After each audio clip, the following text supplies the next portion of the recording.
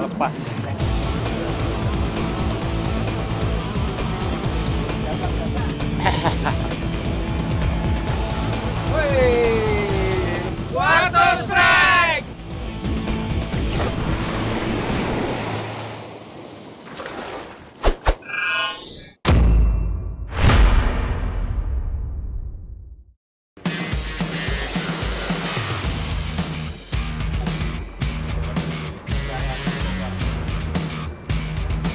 Selamat sore para angler seluruh tanah air. Perairan Indonesia wilayah barat memang sangat terkenal dengan keindahan panorama dan keragaman jenis ikannya.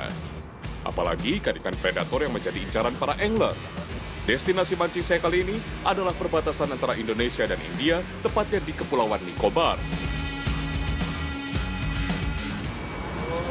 Oke, sekarang gantian saya yang jadi kapten.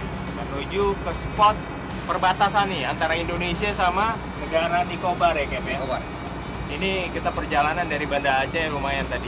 Kita hampir 5-6 jam ya, Ya. jalanan.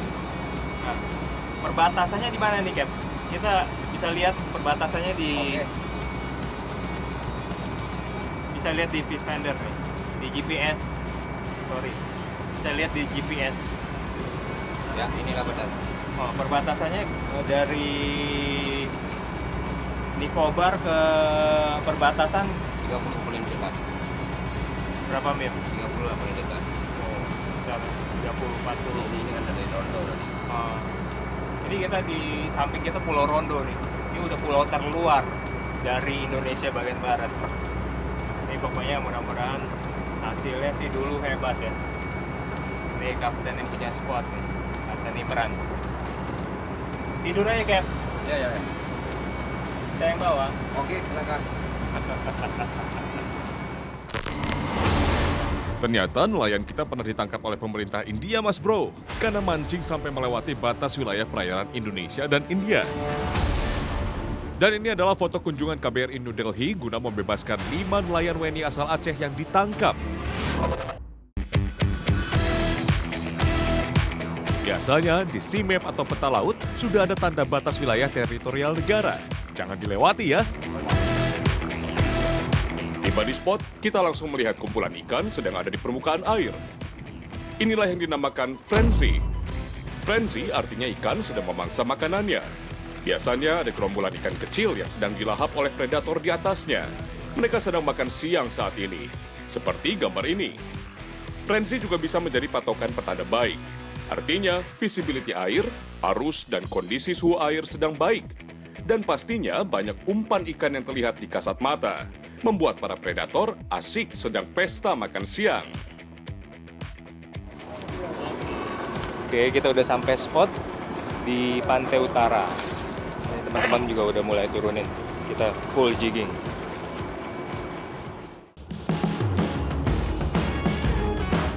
Tanpa membuang waktu, teman-teman langsung menurunkan umpan metal jig andalannya masing-masing.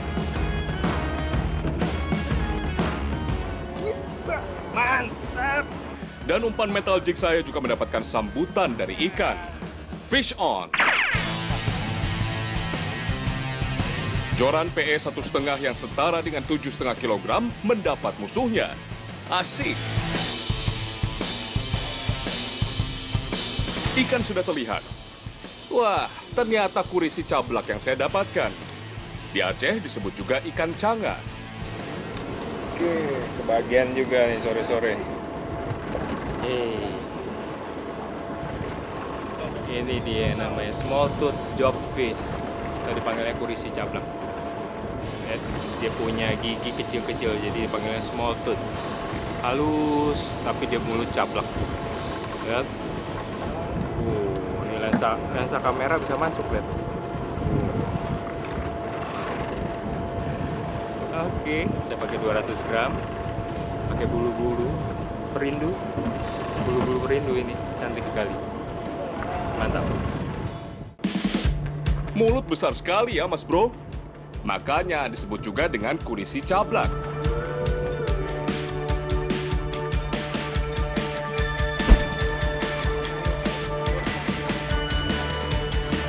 Kita lihat ahui. Betul saja, timing frenzy ikan membuahkan hasil. Ahoy asal Sumawe yang mendapatkan sambaran. Masih keluar benang. Masih sanggup, masih sanggup, masih sanggup. Ini perlu tukang urut kelihatannya. Oh, saya urut deh, saya urut, saya urut. Ya. Perlu tukang urut. Iya. Soalnya belum makan siang. Pinggannya kuat nggak nih? Wih, ditarik.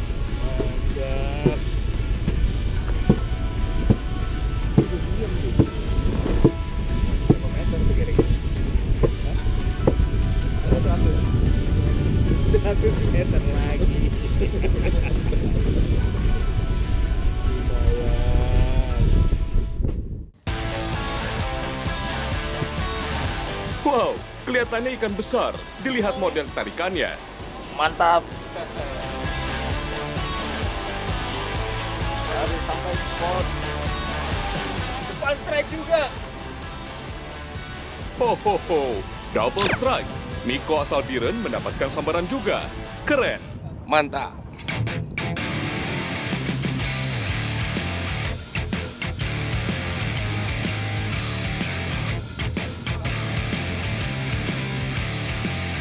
Ikan ruby snapper yang Ahui dapatkan di Aceh disebut dengan ikan kerisikala. Nama latinnya adalah Etelis carbonunculus. Gimana? Kira-kira capek nggak? Lumayan ya. Oke.